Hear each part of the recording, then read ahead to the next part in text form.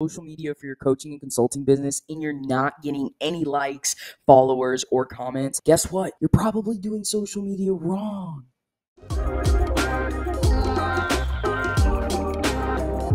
This is Laura Egocheaga, founder and CEO of Viral Growth Media, and we specialize in helping coaches and consultants, usually small business and solopreneurs, scale and grow their businesses so they can actually be a thought leader in their industries and stand the test of time while building a team that supports them working in their zone of genius. We post a lot of content on tips, tricks, and hacks about digital marketing, business operations, and anything to do with how to get your business closer to success or what you believe is success, right? So make sure to subscribe and click on that little bell icon so you don't miss out on any new videos. Social media has taken over our lives over the last decade, and it's very rare that you'll encounter a person who's not on social media. So it's really no surprise that every business has flocked to every social media platform out there, whether it's Facebook, Instagram, Twitter, or TikTok. Look, even Tumblr if you're still stuck in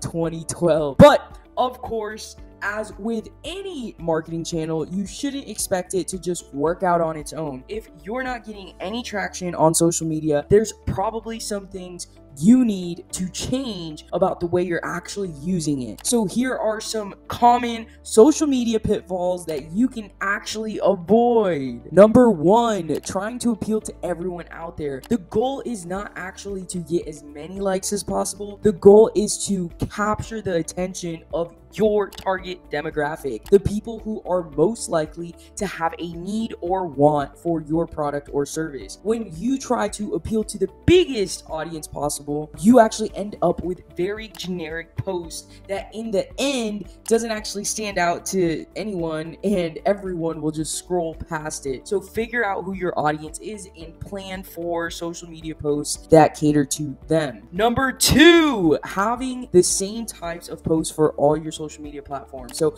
audiences that are more active on Facebook have different priorities compared to audiences who are more active on, let's say, LinkedIn. You have to make sure that the type of content that you upload actually makes sense for that platform. Not to mention that each of these platforms have their own rules and algorithms, so you have to make sure you're using that information to your advantage. Number three, not using your other marketing channels to promote your social media accounts. If you want your social media posts to gain traction, there has to be an immediate burst of engagement, preferably within the first few hours. So if you've just created your social media channels, you want to use your current audience, like your email list or people subscribed to your website or even an older social media channel, and let them know about your new post or your new account and where they can get more content from you. This will help you build a following and your post can reach a wider audience. Number four, not using video. Video is the number one preferred type of content of current consumers. It's engaging, it's entertaining, and it's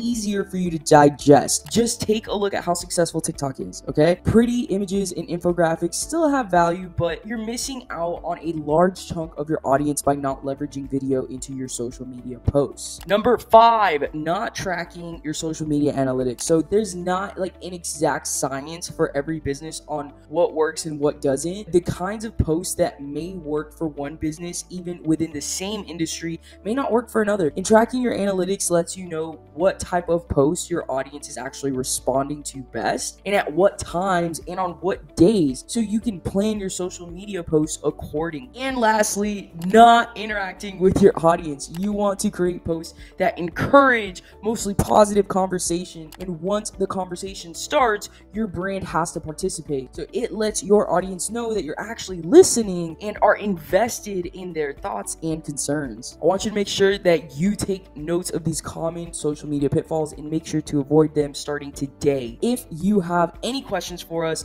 make sure to like and leave a comment below, and you can even tell us what you think we should post next. I'll see you guys in the next video.